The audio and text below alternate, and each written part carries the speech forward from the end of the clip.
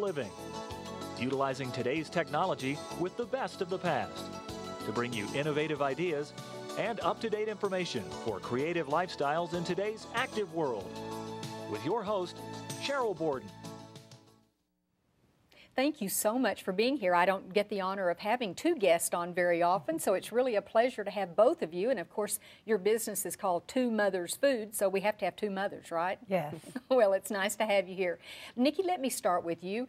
Um, lots of people uh, are into catering and food preparation, but your business came about in a very unusual way. Would you tell us about it? Yes, Christy and I were both um, parents at a local school that ordered some lunches from other um, restaurants like a pizza on Wednesdays, and we noticed that our, our children became sick every Thursday from conventional pizza, really cold symptoms. So we said to ourselves, let's make pizza for the school Oh, out of organic ingredients and grass-fed cheese and make it so that the children don't get sick. And then we also combined with that, we didn't want to see 100 um, napkins, paper plates, forks um, in the, about 10 giant cardboard boxes that are left after ordering pizza. Waste, So we uh-huh. decided to try to make a waste-free, organic, delicious pizza for our children's school.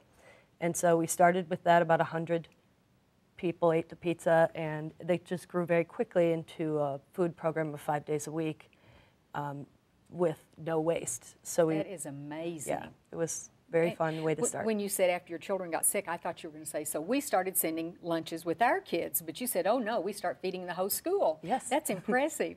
well, Christy, you have four children, I believe, Yes. and, and uh, uh, Nicky has a couple. So you, you sort of, do you ever experiment on these recipes at home with your own kids? Yes, uh, our children, they have a wide range of uh, food preferences and they're very flexible. They, they don't mind tired. a little pigs. experimentation.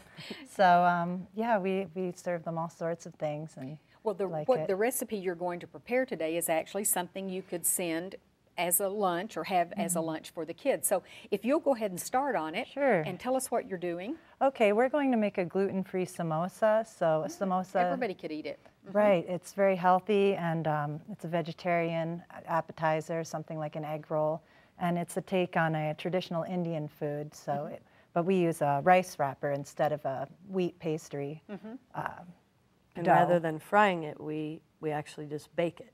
And you're going to soften it right now? First, we Just soften it water? in some uh, lukewarm water, and this will just take about, you know, uh, 10 to 12 seconds. And Oh, okay. then we're going to stuff it with the filling of boiled potatoes that we boiled in the in their skins, and then uh, remove the skins. Oh, so you don't lose any of those nutrients, do Right. you? Okay. And then this looks like carrots? These are carrots that we Mm-hmm. sautéed in grapeseed oil with a little salt and some onions that we also English sautéed, peas. Mm-hmm. and some organic green sweet peas. And the seasonings we're going to use is uh, traditional curry powder, ground coriander, and uh, pink salt. pink salt. Okay, this, some of these may be new terms for some of us, but so every day you cook for 100 people or more. Or more. Now, now we're up to three schools, so and, and we're about to add a 4th Uh-huh. Um, so it's really much more than that. On some, each school doesn't order five days a week. So some days we have about You have a um, break. yeah, some days we have a really big day, Uh-huh. and some days we have a break. But we're also open as a carry-out restaurant. Uh-huh. And that came along later, but you started with the school lunches. That's where you really saw the need for this. Yes, and that's where we got our, with our own school, we got the opportunity to try out Mm-hmm. all kinds of different serving methods until we finally got to our tins. Were your kids real proud that their mothers were They doing were, this? They were real excited. We were the lunch ladies walking lunch around, and we served too. Um, in the beginning, the first two years, we actually served at the school as well, and our Uh-huh. well. Mm-hmm. kids were still young enough to not be embarrassed. And they were happy have their to see us. moms there. Yes. okay, so you've got the rice paper yes, softened. we've and softened it's this and- Pliable now. And this wrapper is great for any sort of filling. You can do a sweet or a savory or any different international type. You know, we do Mm-hmm. a, a Asian inspired at our small restaurant uh, with the different vegetables and And these soy are just kind of mashed up. You didn't really mash them. I mean, they're just broken. I basically pieces. crumble them with my hand after they're cooked and you know cool enough to touch. Uh-huh. We add a little bit of the carrots. All of these, the carrots, onions, and potatoes were all grown probably within 30 miles of our store by farmers that we know and work with regularly. And no preservatives. These everything you can, you try to get organic as much as you can. much even more than organic, we go for close. Close. So we Uh-huh. have farmers that are within, I mean, most of our farmers are within um, 30 miles of the store. So we have a nice circle Mm-hmm. And you do a it. trade out with these farmers, don't you? Yes, we, sometimes we trade them food for, we, two farmers got married recently, and so we, we were able to trade them some of the food we did for their wedding. Good idea. You're for the- adding the spices now the that you mentioned. spices, Uh-huh. that's ground coriander and curry powder. You can also add cayenne pepper if you like it a little more Uh-huh. spicy. This is unbleached salt, and it tastes shockingly different than regular salt. And it's called It's- pink salt? It's called pink salt or sea salt. Oh, sea salt, um, uh-huh. But it's, it's, it's an unbleached salt, and it, Hmm. once you start using it, it's funny how regular salt doesn't Uh-huh. quite do the trick anymore. Mm-hmm. Really adds a great dimension to the cooking. It's all we use for Uh-huh. our program. And our Do you work with local nutritionists to come up with um, recipes, or do you experiment and study yourselves? Since we're trying to combine the local with what we're doing with clean food, um, we kind of start with our farmers and what kind of harvests What we're going to get. the season. And it's hard to work with outside person when, you know, we just kind of look at what, Yeah. what the harvest is going to be or what failed this year. Um, Yeah. Onions failed this year. Tomatoes failed pretty, pretty badly this year. So we have less of that. And What we makes might, your menu more varied as our well? menu is very flexible and it Uh-huh. has to be flexible because of depending on truly local food. What, what do you hear from kids? Kids love our food. Um, one, a funny thing that's interesting is that one of the favorite foods of our soup program at schools is lentil soup, Really? which you just wouldn't think that No, kids would uh-uh. ever like lentil soup, No. and it's it's that's really the favorite besides chicken noodle. That's the favorite. oh, that's the favorite. So And now you're going love- to wrap this up. Now we're going to Ooh, just kind of push this. That's why you have to soak it so that it's Right. pliable. Thank you, Nicky. We're going to fold the edges like that Makes a little pocket. and then keep it just.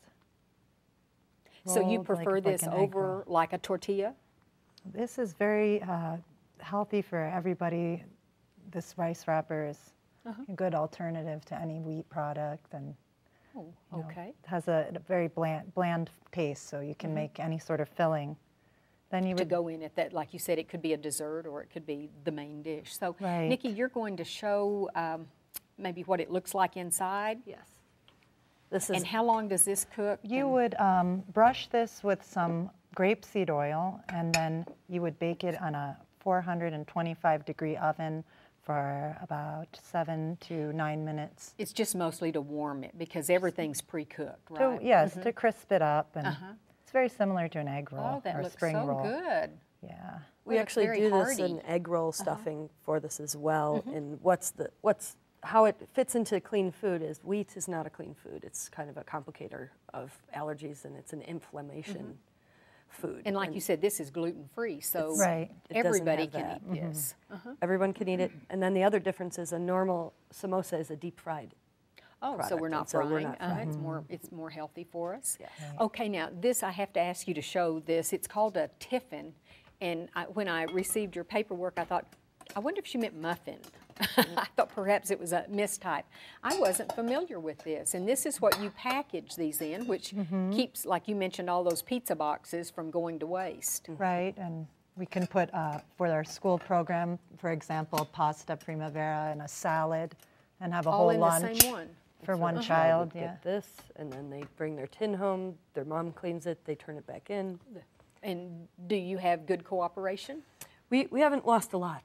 We're, um, that's part of part of growing this way is learning how to handle those different things. And so you're you're asking the same questions we are and trying to figure I out bet. how to sign them out. And Well, in, in the two years you've been in business, tell me again how much waste we have made two regular garbage can size, what 30 gallon, two 30 gallon garbage cans, And that's all? And that's all in two years. Um, might be a little less than that. Um, we have a tiny garbage can the size of an office garbage can Uh-huh. that we empty once a week because it's stinky, Mm-hmm. not because it's full. So, and we are on an on-call basis with the garbage company. They come and they tip our dumpster, It's and full, two bags so- fall down. Ting!